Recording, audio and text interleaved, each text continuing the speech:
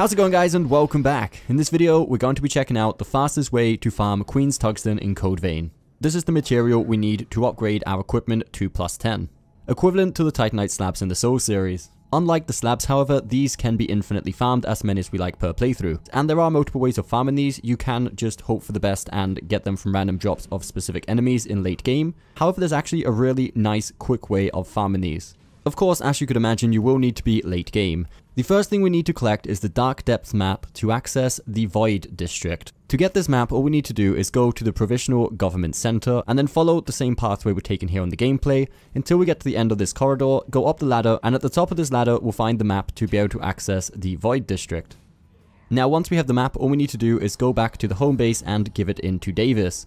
And with this, we'll now be able to go to the Void District when we request to go exploring into the depths. It's important to note that the first time we venture into the Void District, we'll need to collect the two keys to open the boss door from killing the mini-bosses on each side. And then once we have both keys, we can open the doorway that's right in front of the missile, which will lead straight to the boss fight. The boss fight is going to be a repeat of the Blade Bearer and the Cannoneer. And all we need to do is simply defeat them. Once we have killed both bosses, we'll be rewarded with two Queen's Tungsten guaranteed every single time. And the best thing about this is once we go back to the home base and then talk to Davis and request to go back to the Void District, we no longer need to collect the keys every single time. Now the doorway to the boss will be open so we can go directly from the missile to the boss fight.